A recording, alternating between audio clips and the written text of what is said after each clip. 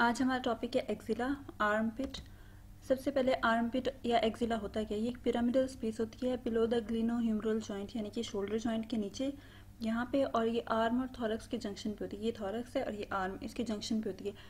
जब हम आर्म को एबडक्ट करते हैं इस तरह से तो ये एक पिरामिडल स्पेस फ्लैटन हो जाती है।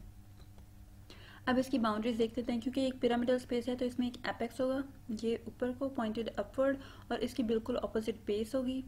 ये मीडियल वॉल ये लेटरल वॉल और फिर एंटीरियर वॉल जो कि डायरेक्टेड एंटीरियरली होगी और पोस्टीरियर वॉल इसके बिल्कुल अपोजिट अब एपेक्स देखते हैं। एपेक्स को सर्वाइको एक्सिलरी कनाल भी बोलते हैं।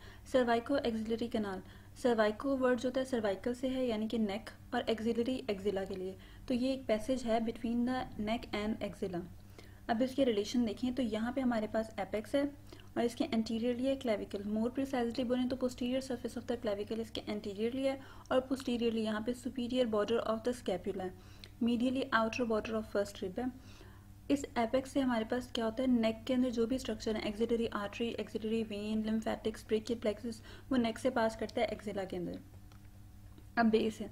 जो बेस है, हमारे पास ये कनकेव स्किन होती है और इसके नीचे सुपरफिशियल फेशिया और एक्सिलरी फेशिया होता है। ये सारी कनकेव स्किन जो होती है रिच होती है इन द एक्सिलरी हेयर्स और सेबेशियस ग्लैंड्स क्योंकि ये कनकेव है तो यहाँ पे डिप्रेशन बना देती है आर्म पिट के अंदर और उस डिप्रेशन को बोलते हैं एक्सिलरी फोसा अब इसकी एंटीरियर वॉल देखते हैं। जो एंटीरियर वॉल है, ये पेक्टोरेलिस मेजर है, ये यहाँ से यहाँ तक सारा कवर करता है। तो एंटीरियरली पेक्टोरेलिस मेजर है। उसके नीचे की जो वाइट सी शीट है सारी, ये क्लेवी पेक्टोरल फेशिया और इसके नीचे तीन स्लिप्स नज़र आ रहे हैं। ये पेक्टोरेलिस माइनर है। तो एंटीरियर रिलेशन इसके हैं पेक्ट मेजर क्लेवी पेक्टोरल फेशिया और पेक्टोरेलिस माइनर पोस्टीरियर वॉल देखें। जो पोस्टीरियर वॉल होती है, वो costal surface of the scapula है। ये ग्लिनो ह्यूमरल जॉइंट है इसके नीचे होगा। तो इसमें हम मसल्स देखते हैं तो सबसे पहले सब स्कैपुलरिस टिरीस मेजर और लेटिसमस डॉर्स है। ये सारे हमारे पास पोस्टीरियर वॉल का रिलेशन है। अब मीडियल वॉल देखते हैं। मीडियल वॉल पे क्या होता है? मीडियल वॉल बनी होती है। अपर फोर रिब्स होती हैं। उसके दरमियान में जो मसल्स होते हैं रिब्स के उनको कहते हैं इंटरकोस्टल मसल्स इंटर मीन्स बीच में और कोस्टल रिब्स को कहते हैं। तो इंटरकोस्टल मसल्स होंगे और साथ में स्ट्रेटस इंटीरियर की अपर डिजिटेशन यहाँ पे लगी हुई। ये बनाती है मीडियल वॉल लेटरल वॉल देखिए तो लेटरल वॉल जो होती है इंटर ट्यूबरकुलर सिल्कस है यहाँ पे ह्यूमरस का।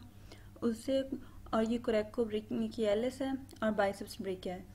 इन तीन से मिलकर लेटरल फॉल बनी होती है। अब कॉन्टेंट्स देखते हैं। कॉन्टेंट्स हैं एक्सिलरी आर्टरी और उसकी सारी की सारी ब्रांचेस ये एक्सिला के अंदर। नेक से इधर पास हो गई। फिर एक्सिलरी वेन होती है और उसकी सारी ट्राइब्यूटरीज हैं। एक्सिलरी लिम्फ नोड होते हैं। ये फाइव ग्रुप्स होते हैं एक्सिला के अंदर लिम्फ नोड के। फिर एक्सिलरी फैट और टिश्यू होता है यहाँ पे लूज एरियोलर टिश्यू होता है सारा। ब्रेकियल प्लेक्सेस है येलो सी नर्व्स हैं सारी। और फिर दो नर्व्स और होती हैं लॉन्ग थोरेसिक नर्व और intercosto brachial nerves axillary sheath क्या होती है? हमारे पास जो नेक है ना नेक के अंदर होती है, एक प्री वर्टेब्रल फेशिया होता है. अभी उसको डिटेल में पढ़ने की ज़रूरत नहीं है, बस नाम याद कर लें कि pre vertebral layer of the fascia होती है. जब वो फेशिया उसने सारी की सारी नर्व्स को वेसल्स को सराउंड किया होता है.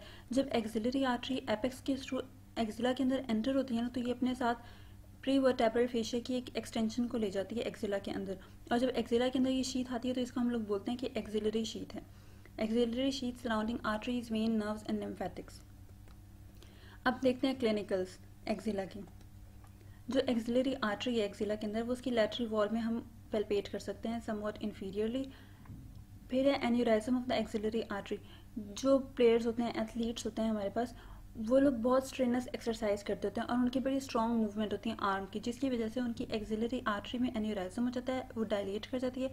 जब वो डायलेट कर जाती है तो ब्रेकियल प्लेक्सस की ट्रंक के ऊपर प्रेशर क्रिएट करती है और जहाँ पे ब्रेकियल प्लेक्सस ने सप्लाई करना होता है तो वहाँ पे एनेस्थीसिया हो जाता है लॉस ऑफ़ सेंसेशन हो जाती है।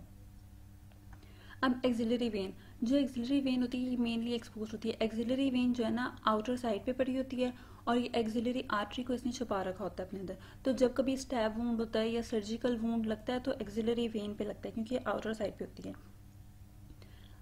अब यहाँ पे एक्जिला के अंदर बहुत सारे एक्जिलरी हेयर्स होते हैं सेबेशियस ग्लैंड होते हैं, जिसकी वजह से इन्फेक्शन का चांस यहाँ पे बढ़ जाता है। और अगर वहाँ पे एप्सिस बन जाए किसी भी तरह का तो एप्सिस को ड्रेन कर देते हैं एंटीरियर और पोस्टीरियर फोल्ड्स में नियर द मीडियल वॉल क्योंकि लेटरल वॉल के साइड पे हमारे पास आर्टरी है एक्सिलरी आर्टरी और नर्व्स है हमारे पास ब्रेकियर प्लेक्सस की और सब कुछ वहाँ पे है। तो मीडियल वॉल के पास कोई भी स्पेशल स्ट्रक्चर नहीं होता तो हम मीडियल वॉल के पास between the anterior and posterior folds करते हैं ड्रेनेज अब एक्सिलरी लिम्फ नोड है, यहाँ पे five group of axillary lymph nodes हैं। इनके हमारे पास बहुत इंपॉर्टेंट काम है।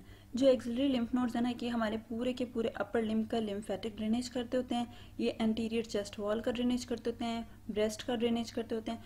तो अगर कोई भी मेलिग्नेंसी हो जाती है, कोई कैंसर हो जाता है तो उसमें ये वाले लिम्फ नोड्स जो हैं इनलार्ज कर जाते हैं। और इससे हम लोग कहते हैं कि जब ये लिम्फ नोड्स इनलार्ज हो जाते हैं और हम इन्हें पेल्पेट करते हैं तो फिर हमें पता चलता है कि कोई मेलिग्नेंसी है बॉडी के अंदर और वो डायग्नोस इजीली हो जाती है।